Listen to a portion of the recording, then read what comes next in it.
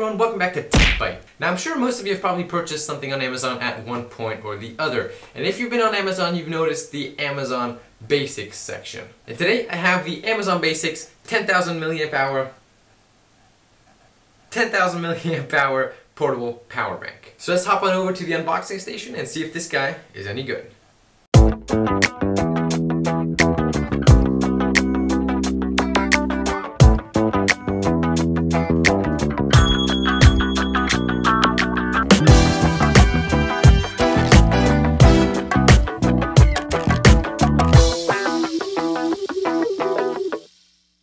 Right, so let's hop on in and take a look at the outside of this box. The front here is kept very simple, Amazon Basics portable power bank, 10,000 milliamp hours, and you get that in a bunch of languages. The back doesn't really have all that much information, so we can just skip over that, slide the knife in, and slice this box open.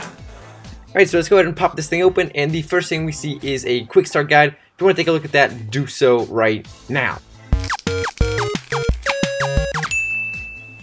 Alright, so up next as we lift this up, we'll see that there is actually something underneath the power bank itself. So let's go ahead and put that aside and see what else is in the box. So the first thing we have is a USB 8 micro USB cable, which is presumably for charging the power bank itself. The next thing we have in here is a little microfiber carrying pouch, which Amazon definitely didn't need to include, but they did, so props to them. One thing that does elude me is why it is dirty, that's actually kind of surprising, but oh well. Alright, so let's move on over to the power bank and take it out of here, take the plastic out, and have a closer look.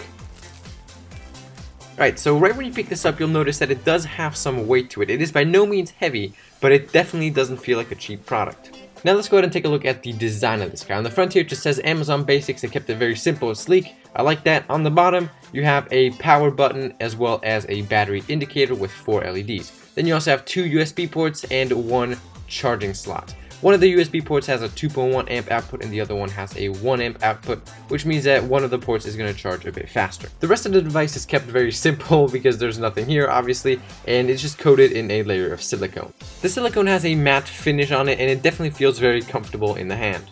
One last little design feature that's kind of hard to pick up on camera is that the corners slope upwards towards the middle, which definitely gives the power bank a more futuristic look and makes it less boring. Also, if you're interested, here is what the battery indicators look like.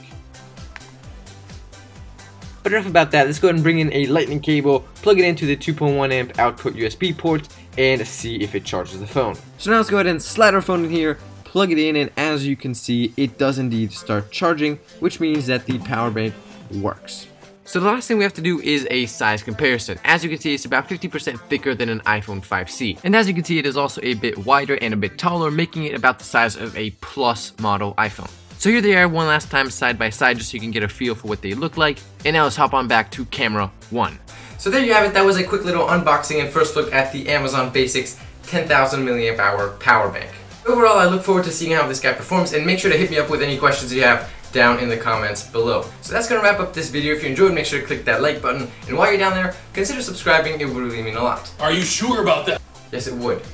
Don't listen to that guy. Other than that, thank you guys again so much for watching, and I will catch you in the next one.